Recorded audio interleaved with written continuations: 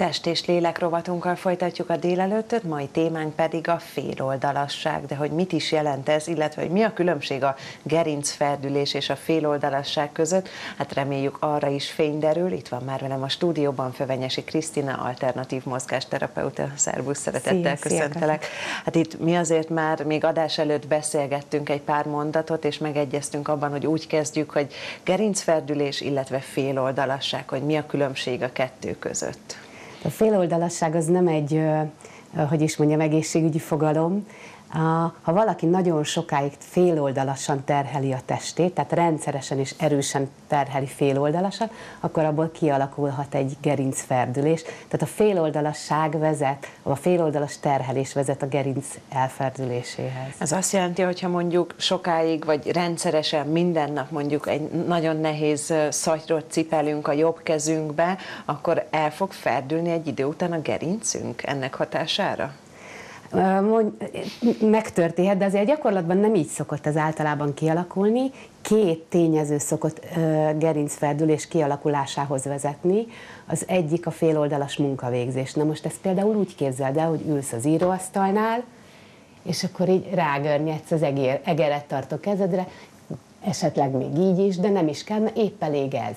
Ha megnézed, akkor itt berövidül a jobb oldalam, és egy idő után az izmok adaptálódnak ehhez a terheléshez, berövidülnek, és amikor felállok, akkor is így fogok már kinézni. Tehát ez az életmód eredetű, de mondok egy másik példát, hogy ne csak az ülőmunkából hozzak, mondjuk egy fogorvos vagy egy fodrász, aki ugye egész nap így hajolgat be, a pácienset így kezeli, vagy így szárítja a haját, ugyanez a minta.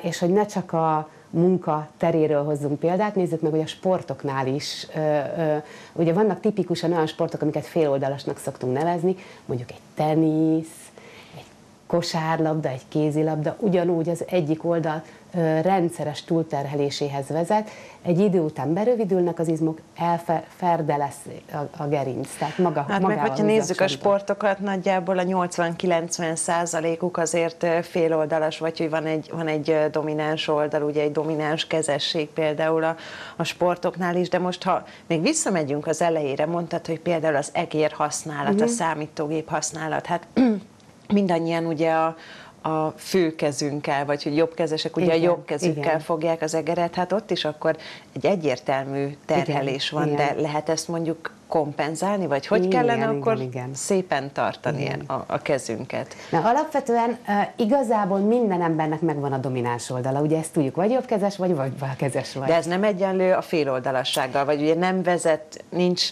Hát egyenes itt, út a féloldalassághoz. A, a gerincferdüléshez nincs egyenes út, egy kicsit ilyen kanyargós az út a gerincferdüléshez. Mondjuk úgy, hogy a, a, a, a no, ha valaki odafigyel, hogy prób, megpróbálja szimmetrikusan terhelni a testét, akkor an, a, a, annál azért nem fog gerincferdülés kialakulni. Hozzáteszem, most mit nevezünk gerincferdülésnek, mert egy picit mindenkinek ferdül a gerince abba az irány, tehát az ellentétes irányba, ugye a dominánssal ellentétes irányba. Egy picit, de ez még normális, természetes, fiziológiás, így szoktuk nevezni. A gond akkor van, amikor valaki túl nagy tett, tehát mondjuk mondjuk ennyire, vagy a sportban. Ilyenkor sem feltétlenül, ugye nem tudsz mit csinálni fogorvos, vagy ez van, azt, azt nem tudod ergonomikusan végezni azt a munkát, Gyakorlatilag ugye ezért vagyunk mi mozgásterapeuták, hogy érdemes ilyenkor, amikor féloldalas sportot űzöl, belenézel mondjuk a tükörbe, és azt látod, hogy az egyik vállad jelentősen lejjebb van, mint a másik, érdemes ilyenkor felkeresni egy gyógytornát, egy mozgásterapeutát, és megkérni, hogy adjon gyakorlatokat, ugyanis minden nap este otthon, két-három percben tudod kompenzálni ezt, és akkor nem alakul ki. Mennyi embert, vagy mondjuk az embereknek mennyi százalékát érinti ez a féloldalasság veszélye? hogyha mondod, belenézünk a tükörbe, majd megnézem én is, hogy hogy, hogy vannak a vállaim, de, de akkor mondjuk ez egy népbetegség? Igen, abszolút. Mindenkit érint mindenkit érint, hiszen mondtam, mindenkinek van domináns keze, az a kérdés, hogy ki mennyire figyel oda, illetve mennyire kompenzálja otthon este gyakorlatokkal, tornával, mozgással. Ezt csak mozgással lehet kompenzálni. Majd mindjárt beszélünk akkor a megoldásokról is, de még az is eszembe jutott, hogy én például mindig ugyanazon a, a bal vállamon hordom például a táskámat, vagy ugyanúgy teszem keresztbe a táskámat. Egészen biztos vagyok benne, hogy, hogy ezzel is ártok akkor magamnak. az az igazság, hogy én nagyon örülök, hogy most visszajött divatba a tiniknél a hátizsák, mert csak az a baj, hogy a féloldalú hordják azt is.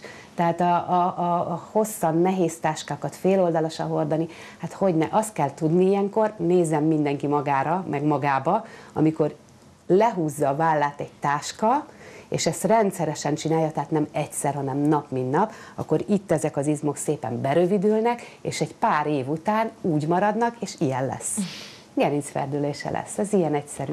Akkor mondjuk érdemes odafigyelni, vagy mondjuk a kamaszlányokra is esetleg rászólni, hogy hát igen, divatos a féloldalas táska, de inkább nézzünk azért egy, egy praktikus, ám szépen kinéző hátizsákot, mert hogy akkor tényleg egyenlő a, a súlyelosztás. Még az jutott eszembe, hogy például a, a hölgyek, anyukák, akik bevásárolnak, és mondjuk cipelnek egy nehéz szajtrot, hát lehet, hogy érdemesebb akkor két bevásárló szajtrot magunkkal vinni, és egyenletesen elosztani eloszlatni ugye a súlyokat. Vagy egy kis tili kocsit, az a legjobb egyébként.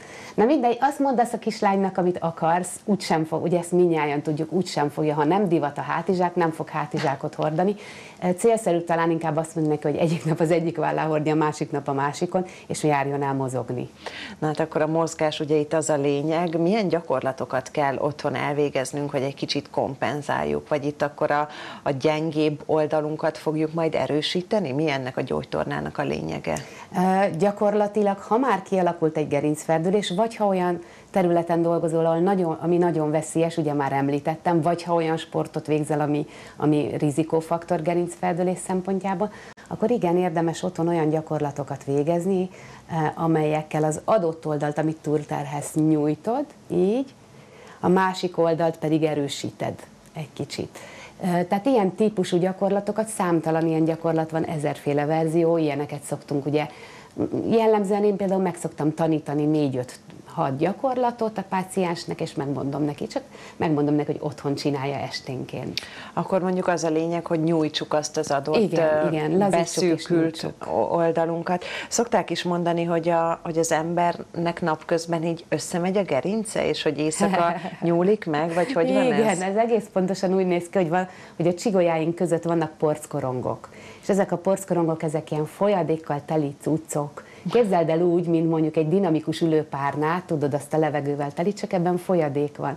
És ugye amikor mi fölkelünk, fölállunk, elkezdjük terhelni a gerincet, és így szép lassan így így ki áramlik belőle a folyadék egy része a környező szövetekbe, és éjszaka, amikor lefekszünk, akkor szépen megszűnik a terhelés, és visszaszívja a környezetéből ezt a folyadékot, és ez az oka annak, hogy reggel, amikor felkelünk, akkor egy olyan másfél centivel magasabbak vagyunk, mint este. De ez egy természetes jelenség. De akkor mondjuk, akik mondjuk nem féloldalasak, vagy nincsen mondjuk mm. gerinc ferdül, ferdülésük, akkor otthon érdemes mondjuk napvégén esetleg egy kis nyújtó gyakorlatot végezni, hogy, hogy újra kinyúljon a gerincünk, és egy kicsit fellazítsuk, vagy mondjuk lelazítsuk? Hát persze, mindannyiunknak minden nap fél órát kéne tornázni, meg mozogni. Igen.